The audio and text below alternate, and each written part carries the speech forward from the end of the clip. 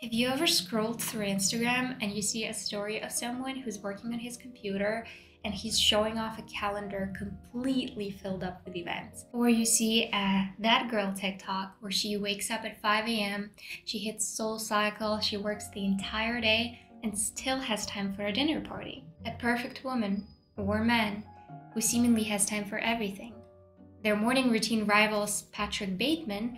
Their LinkedIn is stellar and social life fully, fully booked. And you can't quite reach that level. In reality, the pursuit of doing everything is a trap.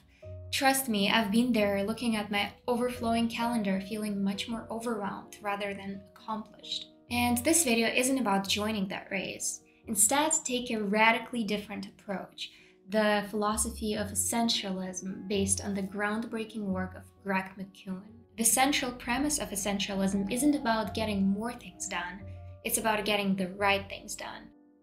Do not confuse busyness with effectiveness. I remember admiring people with packed calendars, thinking they led the most interesting lives, and I tried to emulate that. I tried to squeeze in every possible request, every possible task, saying yes to every favor. Dispersing myself into all the different tasks meant that I was doing a lot, but not actually doing anything particularly well.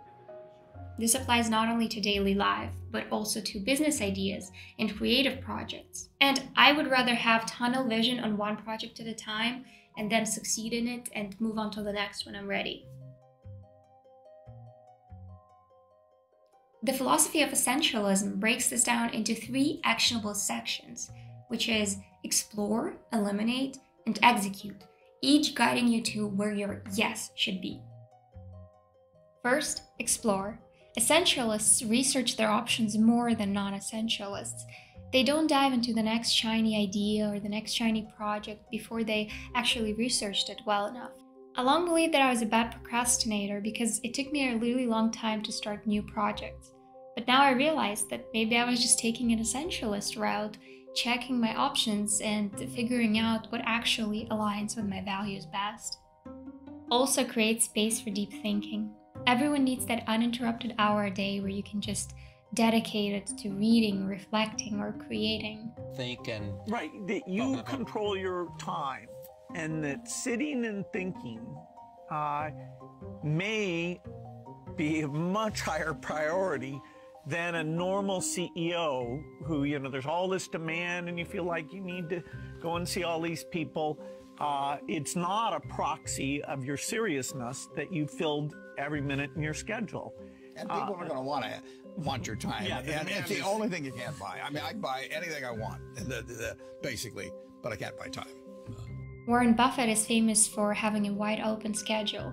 Bill Gates is famous for taking two weeks off every year just to sit and reflect and think in solitude. A Harvard study found that people who spend 15 minutes a day reflecting on the lessons they learned perform 23% better than people who don't. Second, eliminate. You can either do a lot of things averagely well or you can do a few things superbly well.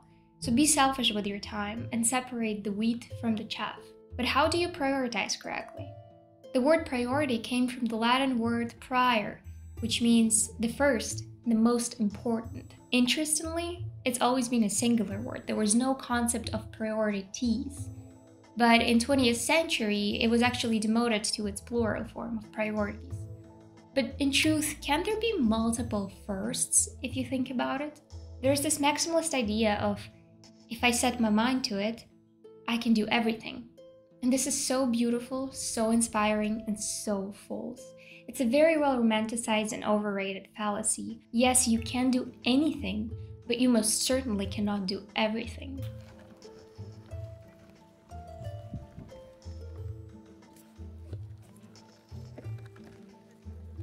Peter Drucker, one of the most influential thinkers and the father of the modern management theory, believed that people are effective because they know how to say no. One creativity researcher was writing a book and he invited Drucker for an interview to spill the tea on his productivity hacks. When Drucker received an invitation, he responded, The secret to productivity is to have a very big waste paper basket to take care of all invitations such as yours. Of course, you don't have to be as direct when declining an offer, but this is where all the people pleasing fantasies that you might have have to leave.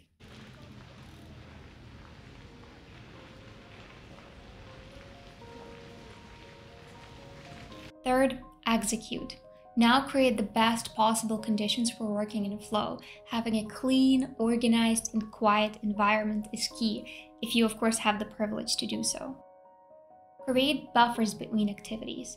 This means intentionally carving out a couple minutes between your current task you're doing and the next one, so that you have a little bit of time to reset your brain and prepare yourself for the next task. Research says that this drastically improves productivity, and now I spend a couple minutes before every meeting to gather my thoughts and reset myself to get into the meeting with a clear and focused mind. Keep in mind that cutting a lot of things from your routine does not mean that you're not challenging yourself anymore. You are still capable of giving your absolute all in all of your relationships, all of your work and projects. But now, instead of working on five projects at a time, you're working on one project. And this turns into visible progress much quicker because all of your energy goes into one thing. Hope this video inspires you to take the essentialist approach. Give it a try and you'll see that by doing less, you're actually achieving more.